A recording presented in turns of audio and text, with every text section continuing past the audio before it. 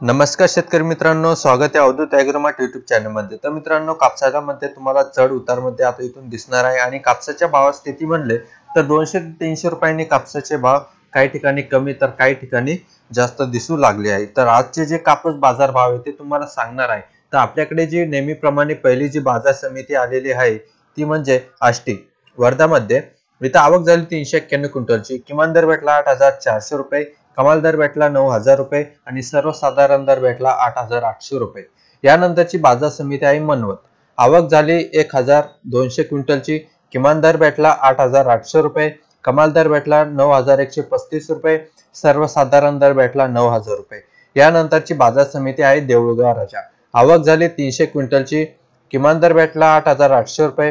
कमाल दर भेटला नऊ हजार एकशे सत्तर रुपये आणि सर्वसाधारण दर भेटला नऊ हजार नव्वद रुपये. यानंतर कळमेश्वर. आवक त्र्याहत्तर क्विंटलची. किमान दर आठ हजार कमाल दर नऊ हजार सर्वसाधारण आठ हजार पाचशे रुपये. यानंतर वरोरा. आवक झाली सहासष्ट क्विंटलची. किमान दर भेटला आठ हजार चारशे रुपये. कमाल दर भेटला आठ हजार आठशे एक रुपये. सर्वसाधारण दर आठ हजार सातशे पन्नास रुपये. यानंतरची बाजार समिती आहे वरोरा माधेरी आवक झाली एकशे सत्तर क्विंटलची. किमान दर भेटला आठ हजार शंभर रुपये. कमाल दर भेटला आठ हजार आठशे रुपये.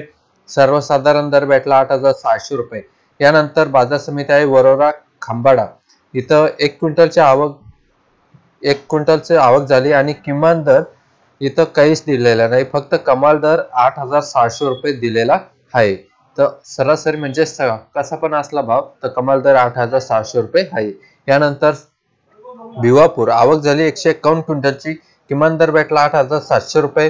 कमाल दर भेटला आठ हजार आठशे पंच्याहत्तर रुपये सर्वसाधारण दर भेटला आठ हजार सातशे पन्नास रुपये. तर मित्रांनो अशा प्रकारे आजचे जे कापूस बाजार भावाचे अपडेट आहे ते तुम्हाला सांगितलेले आहे.